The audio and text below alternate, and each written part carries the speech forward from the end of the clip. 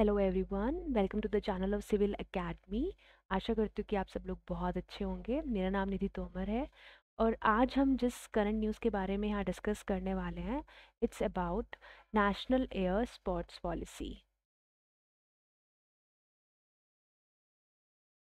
recently ही minister civil aviation ने एक draft issue किया है अबाउट दिस पॉलिसी ऑल अभी कुछ फाइनलाइज नहीं हुआ है ये एक सिर्फ़ ड्राफ्ट है जो रिलीज़ किया गया है लेकिन स्टिल हमारे लिए इंपॉर्टेंट हो जाता है।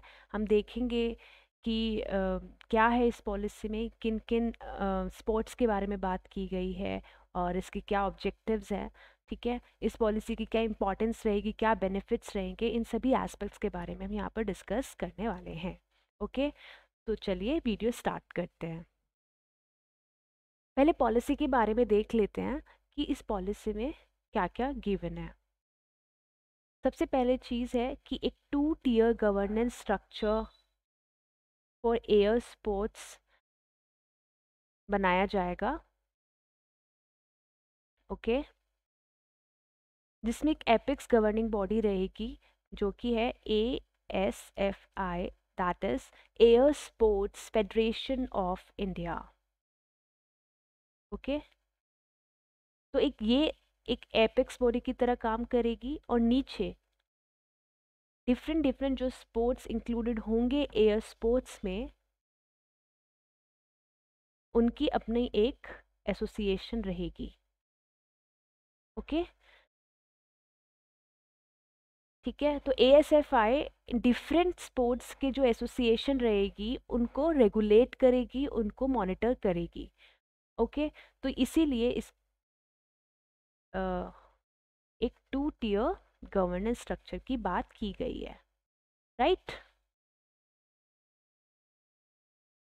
ठीक है? दिस पॉइंट इज़ क्लियर थोड़ा सा एएसएफआई के बारे में जान लेते हैं।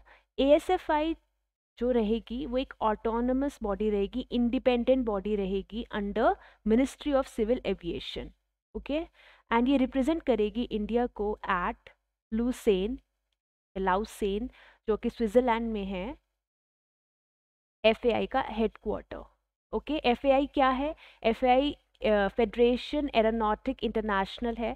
ये भी एक बॉडी है जो इंटरनेशनल एयर स्पोर्ट्स को ऑर्गेनाइज कराती है। इंटरनेशनल लेवल पे ग्लोबल लेवल पे ऑर्गेनाइज कराती है। हर डिफरेंट कंट्रीज़ से एक ग्लोबल प्लेटफॉर्म मिलता है जो एयर स्पोर्ट्स के एथलीट्स होते हैं। ओके तो इंडिया की तरफ़ से ए वो खुद को रिप्रेजेंट करेगी एफएआई में। Okay It will provide governance over various aspects of air sports, including regulation, certification, competitions, awards and penalties. तो ये ASFI के फ़ंक्शंस uh, रहेंगे कि वो रेगुलेट करेगी ओके okay? अगर कोई सर्टिफिकेशन वाला वर्क है तो वो भी एफ़ आई ही देखेगी कॉम्पिटिशन्स को ऑर्गेनाइज कराना that will also be the function of A F I only awards देना ओके okay? पेनल्टीज पेनल्टीज देना that will also be function of A S F I ठीक है? तो ये डिफरेंट फ़ंक्शंस रहेंगे ए एस एफ़ आई के right right? तो ये हमारे लिए एग्ज़ाम पॉइंट ऑफ़ से बहुत इंपॉर्टेंट हो जाती है। प्रीलिम्स में एज इट इज़ क्वेश्चन आपसे पूछा जा सकता है ए एस एफ़ आई के बारे में ओके तो this is the one first point about this policy okay next is अब एयर स्पोर्ट्स के बारे में जान लेते हैं, जो हर एक स्पोर्ट्स जो इंक्लूडेड रहेगा एयर स्पोर्ट्स के अंदर, उसमें एक एसोसिएशन होगी। जैसे मैंने अभी आपको बताया, हर एक एयर स्पोर्ट्स की अपनी एसोसिएशन होगी।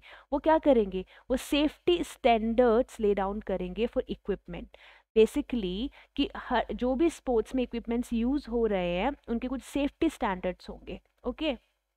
तो उनको ले डाउन करने का जो रिस्पॉन्सिबिलिटी रहेगी वो एयर स्पोर्ट्स एसोसिएशन की रहेगी। इंफ्रास्ट्रक्चर के बारे में पर्सनल के बारे में ट्रेनिंग लाइक like जो स्टाफ रहेगा या जो ट्रेनिंग एथलीट्स को देनी होगी किस टाइप का इंफ्रास्ट्रक्चर देना चाहिए वो सारे uh, जो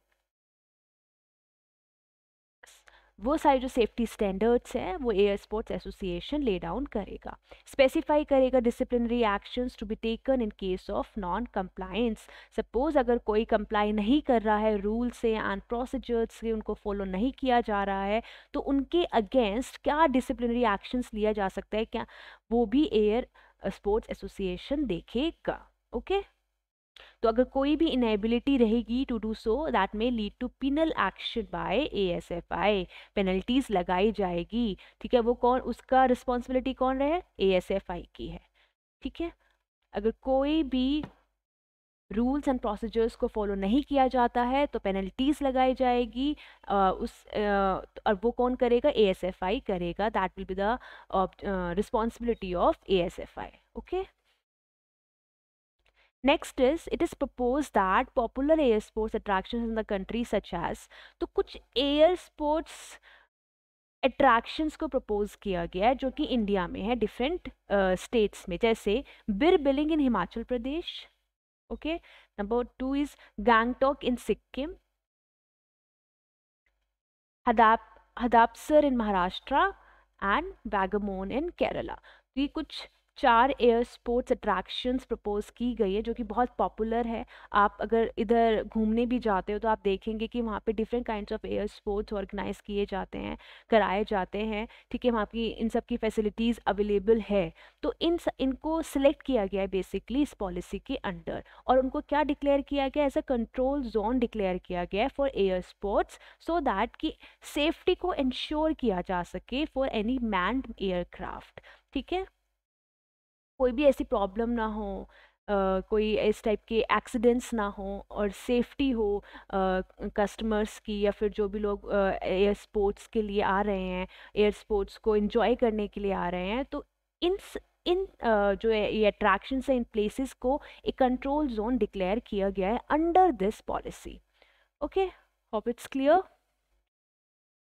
अब हम देखेंगे कि किन किन एक्टिविटीज़ को यहाँ पर कवर किया गया किस टाइप के एयर स्पोर्ट्स को यहाँ पर कवर किया गया है? Aerobatics aero modelling amateur build and experimentally aircraft ballooning drones, gliding, hang gliding, paragliding, microlighting, paramotoring skydiving and vintage aircraft. हो सकता है कि इनमें से कुछ एयर स्पोर्ट्स के नाम आपने नहीं सुने हुए, आपको नहीं पता है कि कैसे होते हैं। कुछ के आपने सुने होंगे, पैराग्लाइडिंग वगैरह, बैलूनिंग, ड्रोन्स, ग्लाइडिंग, ठीक है you must be familiar with all these sports but I have pictures for you जैसे ये आप पिक्चर देख पा रहे होंगे it is aerobatics okay this one is aerobatics. This one is hang gliding, okay? This is microlighting अब जो ये देख पा रहे हो, ये पिक्चर इसको माइक्रो लाइटिंग बोलते हैं and this one is paramotoring ठीक है, कार की तरह ही होता है एंड इसमें आपके एक ड्राइवर होता है तो इसको पैरा पैरामोटरिंग बोला जाता है. And this one is vintage aircraft basically जो पुराने एयरक्राफ्ट्स हैं, जो किसी पर्टिकुलर ईयर में आए होंगे, उनकी राइट्स दी जाती है. ओके तो this is vintage aircraft now objectives क्या है? क्या फ़ायदा होगा इस पॉलिसी को लाने का? एंड क्यों लाया गया है इस पॉलिसी को? uh, क्या ज़रूरत पड़ी है एयर स्पोर्ट्स पॉलिसी को लाने की? बेसिकली इंडिया को जो विजन जो विजन है इस पॉलिसी का वो यही है कि इंडिया को one of the top air sports nation बनाना है by 2030 okay it envisages to promote the country's air sports sector by, by way of making it safe, affordable, accessible, enjoyable and sustainable. Basically country के जो air sports है उनको promote करना है कि वो जो वो safe रहे, affordable भी रहे, आपको ज़्यादा एक्सपेंसिव ना हो कम रेट्स में अवेलेबल हो एक्सेसिबल हो ऐसा नहीं है कि आपको बहुत ट्रांसपोर्टेशन uh, का प्रॉब्लम है आप जा ही नहीं पा रहे हो वहाँ पे तो एक कनेक्टिविटी भी मेंटेन रहे उन एयर स्पोर्ट्स प्लेसेस तक। इन्जॉय कर सके आप लोग आपको किसी बात का डर ना हो तो सेफ्टी प्रोविज़न सिक्योर हो वहाँ पर। सस्टेनेबल हो एक लॉन्ग टर्म तक के लिए हो वो एयर स्पोर्ट्स फैसिलिटीज़ तो बेसिकली इस टाइप का इन्वायरमेंट और इस टाइप की प्लेसेस को डेवलप करने की बात हो रही है। सो so दैट कि इंडिया को जाना जाए इंडिया को एक नॉन प्ले इंडिया जो एक नॉन कंट्री बने for the air sports air sports sector के लिए ओके okay? और जब ये सारी चीज़ें होंगी, जब वो सेफ़ होगा सिक्योर होगा अफोर्डेबल होगा, लोग जी, लोग इजीली एक्सेस कर पाएँगे इंजॉय कर पाएँगे, तभी इंडिया को हम बोल पाएँगे कि वो एक popular air sports popular air popular attraction है, एक पॉपुलर कंट्री है फॉर द एयर स्पोर्ट्स और हम बाहर से टूरिस्ट को भी अट्रैक्ट कर पाएँगे okay this policy seeks to leverage India's potential for air, sports and places, a strong focus on ensuring international best practices in safety. Basically, इस पॉलिसी का जो ऑब्जेक्टिव है, वो यही है कि जो इंडिया का ऑलरेडी पोटेंशियल है एयर स्पोर्ट्स में, उसको लेवरेज किया जा सके मतलब बहुत सारे ऐसे एथलीट्स होंगे जिनका काफ़ी इंटरेस्ट होगा एयर स्पोर्ट्स में, जो बहुत अच्छे होंगे पैराग्लाइडिंग करने में पैरामोटरिंग करने में हैंग ग्लाइडिंग करने में दे आर गुड ओके तो उनको उसको बेसिकली उनको लेवरेज किया जा सके, उसको यूटिलाइज किया जा सके, उस पोटेंशियल को काम में लाया जा सके ठीक है? तो एक ये पॉलिसी का ऑब्जेक्टिव है। दूसरा यही है कि ऑब्वियसली हम इंटरनेशनल बेस्ट प्रैक्टिसेस को इंश्योर कर सकें, उन पर फोकस कर सके। जो इंटरनेशनली जो प्रैक्टिसेस की जाती है, उनको हम अपने इंडिया में भी अडॉप्ट कर सके with safety okay It aims to promote domestic design development and manufacturing of air sports equipment under the Atmanirbhar Bharat Abhiyan. Okay obviously अब तो हमारी हर पॉलिसी का एक पार्ट हो जाता है कि हमें अपने डोमेस्टिक डिज़ाइन पे ध्यान देना है, हमें डोमेस्टिकली डेवलप करना है डोमेस्टिकली मैन्युफैक्चर करना है कोई भी जो एयर स्पोर्ट्स से रिलेटेड इक्विपमेंट्स रहेंगे सो so दैट कि हम अपने आत्मनिर्भर भारत अभियान को रिकग्नाइज कर सके आ, उसको बढ़ावा दे सके ओके उसको एक तरीके से जो हमारे जो मैन्युफैक्चरर्स हैं जो इंडिजीनियसली मैन्युफैक्चर कर सके डोमेस्टिकल डोमेस्टिक जो मैन्युफैक्चरर्स हैं उनको उनकी इनकम में बढ़ावा उनको हम थोड़ा सा मोटिवेट कर सके राइट तो दैट इज़ द विजन और that is the aim of this policy और इसके लिए बात की जा रही है कि जो इम्पोर्ट ड्यूटी है इक्विपमेंट्स पे उनको वेव किया जाए, उनको रिड्यूस किया जाए, ठीक है? और जीएसटी काउंसिल से रिक्वेस्ट किया गया है कि जो एयर स्पोर्ट्स इक्विपमेंट्स हैं, उन पर जो जीएसटी रेट्स हैं, वो कम किए जाए, कम से कम फाइव परसेंट और लेस किया जाए। तो उसके लिए ये स्टेप लिया जाएगा इन फ्यूचर ओके ना व्हाट इज़ अ सिग्निफिकेंस अब क्या बेनिफिट मिलेगा हमको? ठीक है इस पॉलिसी को लाने से इंडिया में क्या फ़र्क होगा? आ, तो वो हम देख लेते हैं।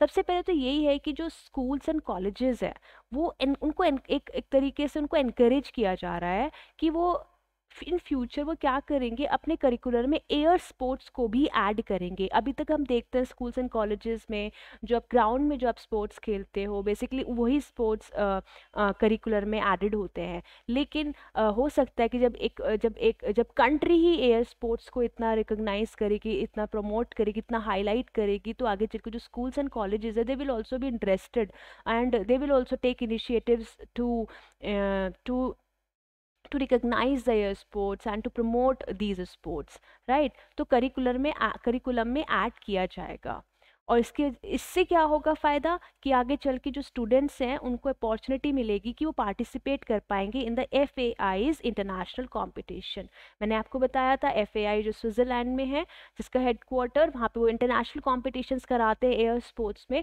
तो हमारे इंडिया से भी बच्चे बाहर जाके अपना आप को रिप्रेजेंट कर सकते हैं पार्टिसिपेट कर सकते हैं ओके वो तभी होगा जब हम इन स्पोर्ट्स को इन स्पोर्ट्स के लिए बच्चों को एनकरेज करेंगे उनमें पार्टिसिपेट करने के लिए एनकरेज करेंगे उनके लिए ट्रेनिंग दी जाएगी उनके लिए ऐसा इंफ्रास्ट्रक्चर तैयार किया जाएगा। Okay? India has the potential to be among the leading nations in the world of air sports. India के अंदर पोटेंशियल है कि world of air air sports में वर्ल्ड में वो एक एक एक, एक टॉप नेशन बन के उभर पाए okay? okay? It has a large geographical expanses वो ऐसा क्यों बोल रहा है? क्योंकि हमारे पास एक लार्ज जोग्राफिकल एक्सपांस है, ठीक है? हमारी जो टोपोग्राफी है वो डाइवर्स है, कहीं माउंटेन्स है तो कहीं पे बीचेस है, कहीं पे कम कम हिल्स है तो कहीं पे ऐसे एरियाज़ है, कहीं पे कम छोटे मतलब पहाड़ है, कहीं पे बड़े पहाड़ है तो ये इस तरीके से जंगल है तो एक डाइवर्स टोपोग्राफी है, ठीक है? ऐसा नहीं है कि सिर्फ़ एक प्लेन ही एरिया है पूरा इंडिया ओके तो इस तरीके से हमारे पास इंडिया के पास एक पोटेंशियल है कि हम एयर स्पोर्ट्स को अगर बढ़ावा देंगे इनक्रेज करेंगे तो डेफिनेटली इसमें हम काफ़ी आगे तक जा सकते हैं। फेयर वेदर कंडीशंस है ऐसा नहीं है कि सिर्फ़ बारिश ही होती जा रही है ऐसा नहीं है कि सिर्फ़ सनी सनी वेदर है राइट ऐसा नहीं है कि बिल्कुल क्लाउडी होता है। तो एक बहुत फेयर वेदर कंडीशंस होती हैं जो एक एयर स्पोर्ट्स को uh, करने के लिए फेवरेबल रहेगी। It has a large population specially the youth और हमें आपको पता है कि इंडिया का प्रेजेंटली जो डेमोग्राफिक डिविडेंट है वो सबसे हाईएस्ट है among the among the world's countries okay और तो उसको हम एक तरीके से uh, उसको हम यूटिलाइज कर सकते हैं उसका हम फ़ायदा लेवरेज कर सकते हैं राइट right? तो अभी जो लार्ज, उस जो यूथ की जो पॉपुलेशन वो बहुत ज़्यादा है। तो अगर हम अपने यूथ को, उनकी एनर्जी को अगर चैनलाइज करेंगे, उनको टैलेंट को चैनलाइज करेंगे, the adventure sports and aviation तो definitely it will help them also right? तो उसको, उस कल्चर को हमें ग्रो करने की ज़रूरत है और वो उससे ग्रो होगा अगर ये पॉलिसी आती है तो ठीक है? और जो डायरेक्ट रेवेन्यू हमें मिलेगा from air sports from air sports activities the multiplier benefits जो होंगे मतलब ये है कि सपोज़ अगर हम एयर स्पोर्ट्स एक्टिविटीज़ को यहाँ पे इनक्रेज करते हैं तो उसके जो मल्टीप्लायर इफ़ेक्ट्स होंगे मतलब उसके जो आउटकम रहेगा क्या होगा कि ट्रैवल ट्रैवल प्रमोट होगा, ठीक है? टूरिज़्म लोग बाहर से आएँगे, बाहर की कंट्रीज़ से आएँगे, या फिर इंटरस्ट इंटर स्टेट टूरिज़्म भी बढ़ेगा ओके लोकल एम्प्लॉयमेंट बढ़ेगा, ठीक है? इससे रोज़गार बढ़ेगा रोज़गार बढ़ेगा तो इनकम बढ़ेगी specially in in hilly areas में, ठीक है? तो बहुत ज़्यादा इंक्रीज़ हो जाएगा तो हम अपने हिली स्टेट्स को भी काफ़ी उनकी इनकम जनरेट करने के माध्यम बनेगा right creation of air sports hubs across the country will also bring in air sports professionals and tourist from across the world definitely अगर हम अपने एयर स्पोर्ट्स हब्स को बनाते हैं अपनी कंट्री में तो जो बाहर के जो एयर स्पोर्ट्स प्रोफेशनल्स हैं टूरिस्ट हैं, वो भी विज़िट करेंगे इंडिया को, वो भी वहाँ से बाहर से आएँगे इंटरेस्टेड होंगे। क्योंकि उनको अपॉर्चुनिटीज़ मिलेगी तभी तो आएँगे ना। अभी तक तो अपॉर्चुनिटीज़ ही नहीं मिल रही थी। अभी तक तो हमने अपने एयर स्पोर्ट्स को इतना रिकोगनाइज़ ही नहीं किया था उसको देखा ही नहीं था कि हाँ हाँ उस सेक्टर में भी बहुत पोटेंशियल है। अब तक हमने ये चीज़ रियलाइज़ ही नहीं करी थी। But now India is taking step draft release हुआ है, आगे चीज़ें फाइनलाइज भी होगी। तो इस वजह से जो एयर स्पोर्ट्स प्रोफेशनल्स हैं, जो बाहर के, जो एक्चुअली बहुत टैलेंटेड है एयर स्पोर्ट्स में जिनके पास ये स्किल्स है तो वो बाहर से आ सकते हैं यहाँ पे ट्रेनिंग दे सकते हैं वो तभी आएँगे जब यहाँ पे उनको अपॉर्चुनिटीज़ मिलेगी ओके? ना गवर्नमेंट भी ऐसा नहीं है कि इनिशिएटिव्स uh, गवर्नमेंट ने कुछ इनिशिएटिव्स लिए हैं फॉर स्पोर्ट्स डेवलपमेंट ओके तो ऐसा नहीं है कि सिर्फ़ आ, अभी एयर स्पोर्ट्स में हम पहली बार स्टेप इनटू कर रहे हैं और इनिशिएटिव्स लिए जा रहे हैं। एयर स्पोर्ट्स में पहली बार लिए जा रहे हैं बट ओवरऑल जो दूसरे स्पोर्ट्स हैं इंडिया ने ऑलरेडी बहुत सारे इनिशिएटिव्स लिए हैं। जैसे खेलो इंडिया स्कीम है वन थाउज़ेंड वन थाउज़ेंड जो बेस्ट एथलीट्स हैं उनको सेलेक्ट किया जाता है across the India across India and उनको फिर स्कॉलरशिप एनुअल स्कॉलरशिप भी प्रोवाइड की जाती है फाइव लैक्स की, ठीक है? तो तो ये इसीलिए कि सो दैट कि we can promote sports in the country okay national sports development fund है right the national sports talent contest schemes हैं, ठीक है? फंड क्रिएट किया जा रहा है सो so दैट कि उनको एक फाइनेंशियल असिस्टेंस मिल सके।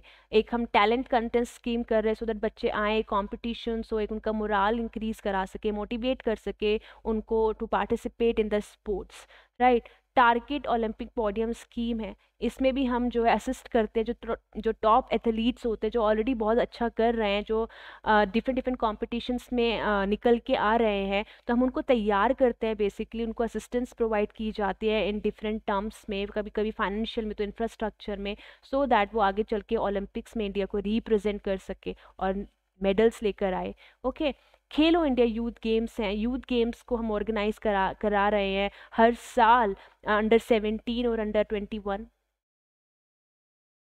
ठीक है? Under seventeen and under twenty one हम जो है डिफरेंट गेम्स को ऑर्गेनाइज कराते हैं। अभी जैसे हरियाणा में होगा ठीक है फेब्रुवरी में बात चल रही है 2022 में कि हरियाणा में खेलो इंडिया यूथ गेम्स को ऑर्गेनाइज किया जाएगा। कि इसीलिए सो दैट शुरुआत से ही हम अपने बच्चों को बच्चों को जो इंटरेस्ट है वो स्पोर्ट्स में कल्टीवेट कर सके, उनको स्पोर्ट्स में उनका, उनको इनक्रेज कर सके ओके सो दैट कि वो आगे चलकर इंडिया को बाहर रिप्रेजेंट करे राइट तो this is all about this draft national air sports policy and